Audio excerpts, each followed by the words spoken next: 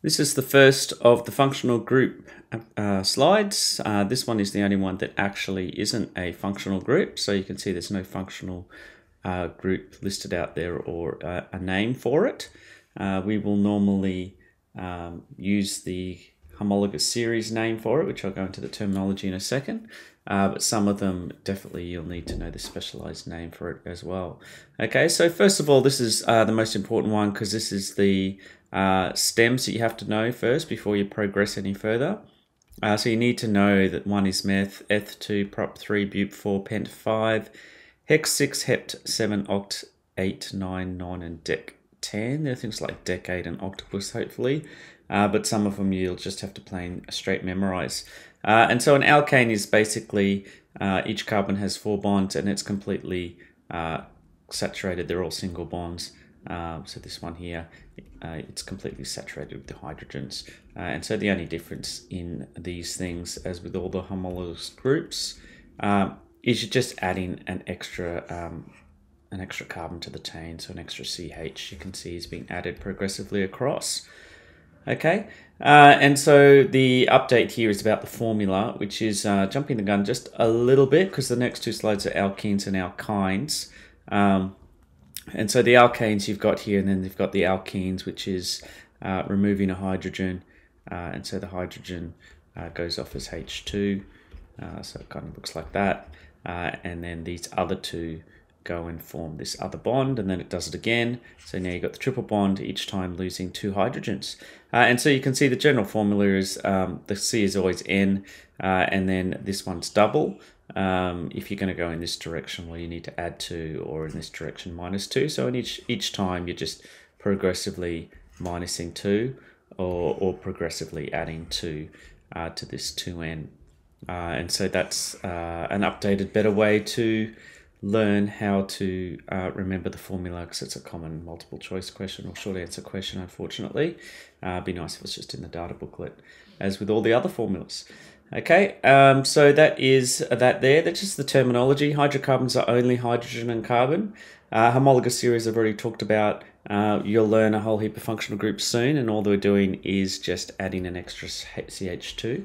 Uh, the molecular formula is what you're used to and uh, empirical formula we will talk about soon because that's how we experimentally determine substances and then we work from there to get to the molecular formula. Uh, the structural formula is what you want to write in your exam. Uh, you can do a condensed uh, and you can even do things like this. Um, that's a, a, condensed form as well. But uh, in the exam, make sure you always write every single atom and every single bond uh, and potentially even the lone pairs uh, depending on the question. But for organic chemistry, we won't have the lone pairs on there, uh, just for the standard writing of organic com compounds.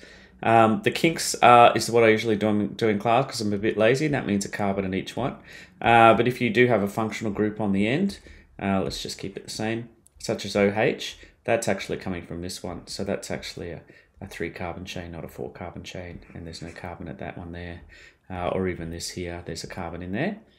Um, there's quite a few good questions that in, that cover a lot of um, misconceptions on the website, uh, and so you can do some online quizzes for each of the different type of homologous group. And I've care- thought carefully about those over many years to write those uh, quiz sets. So I recommend using those. Um, the alkyl groups now, uh, and so if the alkyl becomes actually a branch, uh, we still keep the same stem. We just add an ol to it. Uh, this will make sense a little bit more when we start doing the naming. Uh, so the overall summary of the naming, this is a bit of a simplification, but we don't uh, do too many things more complicated than this. Uh, the only thing I would probably add, unfortunately, so you should definitely watch this video uh, that comes up, is you try and go alphabetical um, with the groups, okay?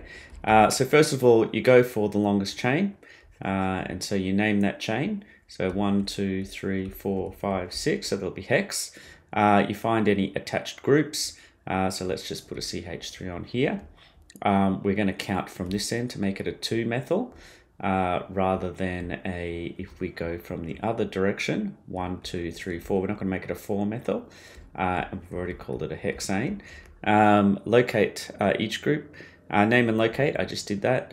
Um, separate letters and numbers with a dash. That's a letter and a number, so I'll put a 2. So it's 2 dash methyl hexane. Uh, separate numbers, two numbers with a comma, keep it alphabetical. Um, we'll extend on this summary just a little tiny bit as we go through the slides uh, and give one or two extra pointers when it comes along to different using different functional groups. So this is just a, a summary introduction that will get a little bit more complicated as we go along. Okay. Oh, and there we go.